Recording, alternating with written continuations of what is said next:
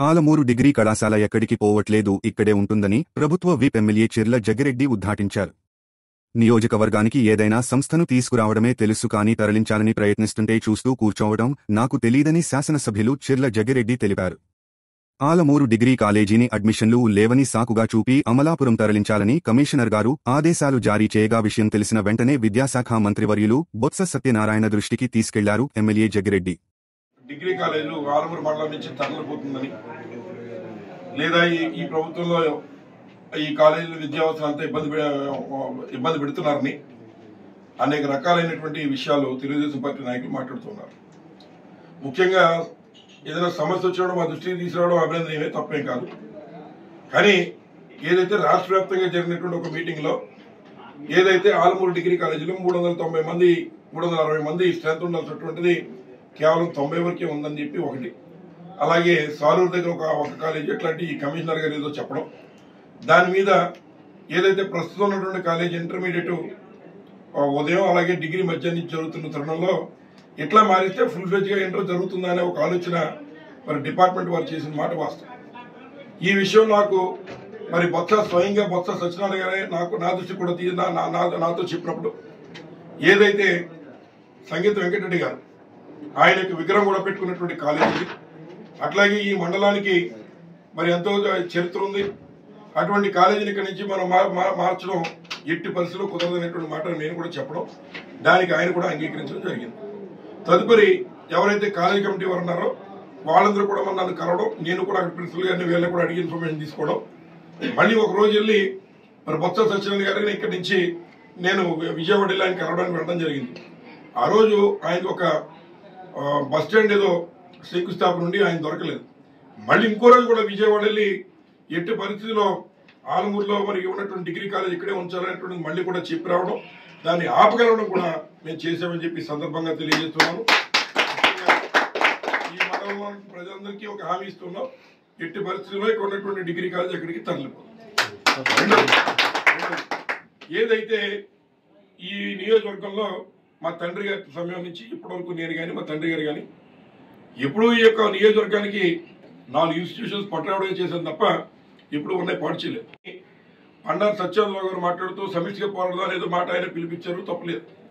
కానీ ఈ నియోజకవర్గంలో ఉన్నటువంటి శాసనసభ్యులు నెమ్మది నిరుతున్నట్టున్నారు పట్టించుకోవట్లేదు అనేటువంటి ఆయన తప్పుడు మాటలు కట్టిపెట్టమని చెప్పి సందర్భంగా తెలియజేస్తున్నాను.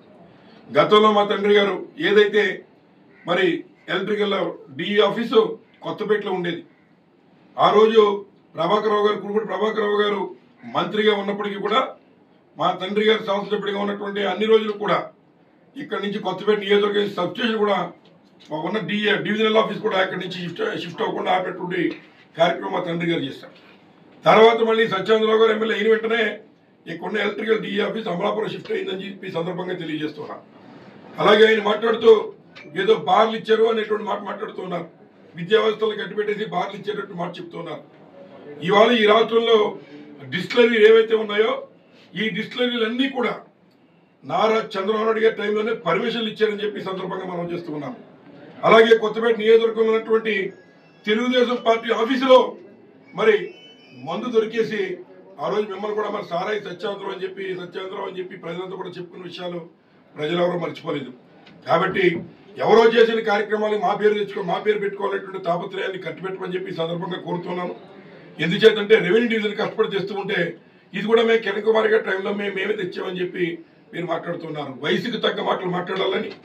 ఈరోజు డిగ్రీ కాలేజ్ విషయంలో ఎవరైతే వీర్రాజు గారు ఇంకా ఉన్నటువంటి ఆ కమిటీ అందరూ కలిసి కలిసి కలవడం కలిసిన మాట వాస్తవం. వారితో కూడా చెప్పడం జరిగింది. ఎట్టి బదులు కాలేజ్ ఇక్కడి నుంచి తరలిపోదు. ఎవరో కమిషనర్ గారు పయనించే ప్రయత్నం చేశారు.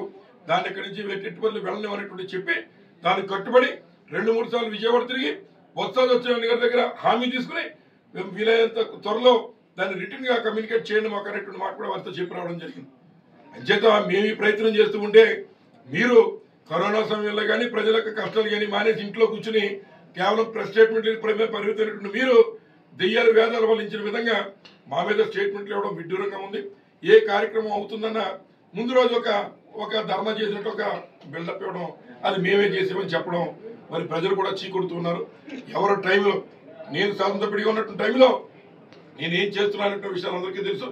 ఈరోజు రెవెన్యూ డివిజన్ మరి ఈ యొక్క కొత్తపేట తెచ్చి ఇచ్చాం.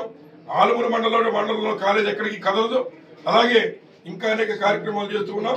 ఎక్కడ ఏ ఇబ్బంది వచ్చినా మరి అన్ని కూడా ఇన్ టైం అటెండ్ అయ్యి మేము కార్యక్రమాలు చేస్తూ ఉంటే మీరు హాస్పిటల్ ఇవ్వాలి. ఈ ఆలమూరు ఉంది. హాస్పిటల్ ప్రారంభించే కార్యక్రమం చేశాం. రెండు రోజులు ఒక నాలుగు ఒక వారం పది రోజుల్లో మరి పిహెచ్సి ర్యాలీ మేము మళ్ళీ ఓపెన్ చేసే కార్యక్రమం చేస్తూ ఉన్నాం. కొత్తపేటలో హాస్పిటల్ మళ్ళీ ఐదు కోట్ల రూపాయలు పెట్టి పునర్నిర్మించే కార్యక్రమం చేస్తూ ఉన్నాం. ఇవన్నీ మీకు కంటికి కానరావట్లేదు అని కనిపి అని- ఈ సందర్భంగా అడుగుతున్నాం. ఏదైతే ఈ రోజు ఉన్నటువంటి విద్యాలయాలు ఒక నెలకి సంవత్సరానికి ఇరవై ఐదు కోట్ల రూపాయలు ఖర్చు పెట్టి మరి విద్యాలయాలన్నీ కూడా తీర్చిదిద్దే కార్యక్రమం మేము చేస్తూ ఉంటే మరి కేవలం ఏ రకంగా మస్పూస్ మారేడుగా చేయాలి?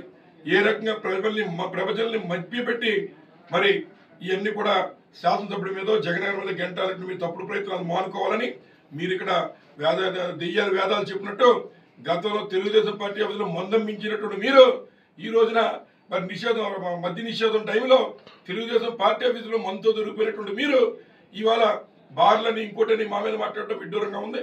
బార్లు అనేటువంటివి నేనేదో ప్రయత్నం చేసి తెచ్చినటువంటిది కాదు. ఏదైతే ఒక సుప్రీంకోర్టు గైడ్ లైన్ ప్రకారం వచ్చినటువంటి ఎవరైనా ఎక్కడైనా ఒకటి పెట్టుకున్నప్పుడు దానికి వాళ్ళు ఫీ కడుతున్నప్పుడు అది అక్కడ మరి ఏదైతే అది రెవెన్యూ జనరేట్ కానప్పుడు వారు కొన్ని సెంటర్లు అప్లై చేసుకుని రాష్ట్రంలో కొన్ని చోట్ల వారు తెచ్చుకున్నారు. కాబట్టి రావులపాలెంలో ఆ పొటెన్షియాలిటీ ఉందనేటువంటి ఉద్దేశంతో వారి గవర్నమెంట్ నుంచి తెచ్చుకోవడం అది నడవడం జరుగుతోంది. అందుకన్నా మాట్లాడితే ఏదైతే వృద్ధాశ్రమం ఉన్నటువంటి సిఆర్సీలో ఆ రోజు మన మందు షాపులు మొదలు పెట్టి పెట్టించినటువంటిది మీ ప్రభుత్వం ఈ రోజు కూడా అక్కడ ప్రజలంతా కూడా తిట్టుకుంటూ ఉన్నారు. మరి అక్కడ మందు మందు షాపులన్నీ కూడా తెలుగుదేశం టైంలోనే పెట్టించారు. ముఖ్యంగా మీ నేత చంద్రబాబు నాయుడు గారు ఈ రాష్ట్రంలో ఒక్క డిస్టిలరీ పర్మిషన్ కూడా జగన్మోహన్ గారు ఇవ్వలేదు. ఉన్నటువంటి మందు డిస్టిలరీ షో అన్ని కూడా యనమల రామకృష్ణ గారు వియంకుడికి కూడా మరి మీ వాళ్ళే మీ మీ తెలుగుదేశం ప్రభుత్వంలోనే పర్మిషన్లు ఇచ్చారని చెప్పి సందర్భంగా తెలియజేస్తూ ఇప్పటికైనా దెయ్యాలు వేదాలు వల్లించినట్టు మీరు నీతులు చెప్పడం మానేసి మీ టైంలో మీరు కూర్చున్నారు ఇంట్లో కూర్చున్నారు. మా టైంలో మేము రోడ్డు మీద తిరిగి పని చేస్తున్నాం ప్రజలు గమనిస్తున్నారని చెప్పి ఈ సందర్భంగా తెలియజేస్తూ ఆలమూరు మండలంలో ఉన్నటువంటి డిగ్రీ కాలేజు ఎక్కడికి వెళ్ళదని ప్రజలకు చెప్పాల్సిన బాధ్యత నాకు ఉంది కనుక పనిచేస్తాం.